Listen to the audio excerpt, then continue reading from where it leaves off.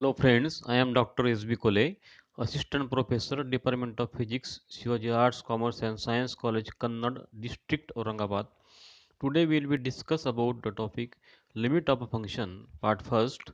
Now friends, you know you have learned limit in mathematics, but it is also in physics.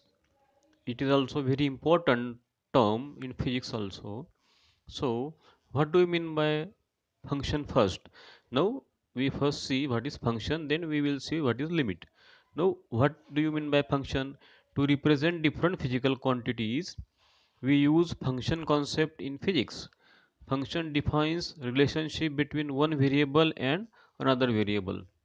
Now, we can see here from this example, example first, see u is equal to f of vt means u is function of v and t here u is internal energy of a system v is volume. T is temperature. Means internal energy is function of volume and temperature. It depends on volume and temperature.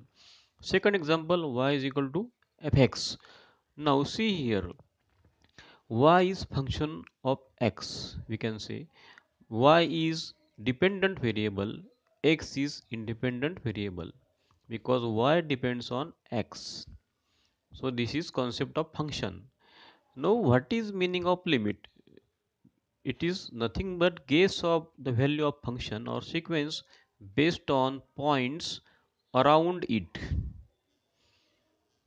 Friends now we will see example to illustrate limit of a function. Now in this example see limit x tends to 1 x square minus 1 upon x minus 1 we have to calculate value of this function. Here function is x square minus 1 upon x minus 1 now we have to calculate its limit as x tends to 1 means let us take x is equal to 1 put at the well place of x 1 so putting 1 at the place of x we get x square minus 1 upon x minus 1 is equal to 1 square minus 1 upon 1 minus 1 is equal to 0 upon 0 it is indeterminate format. Now friends let us try approaching value of x closer and closer to 1 see in this table x is in first column in second column x square minus 1 x upon x minus 1 means in first column x in second column that function. So if we take x is equal to 0.5 we get value of this function x square minus 1 upon x minus 1 as 1.5 now take x is equal to 0.9 we get value of that function as 1.9 if we take x is equal to 0.99 we get value of that function as 1.99 if we take x is equal to 0.999 we get that value of that function 1.999 again we go on increasing we get value of that function. So we can see from this table at x approaches to 1 value of that function approaches to 2 we can say now limit second table. So let us try that's another side of that problem.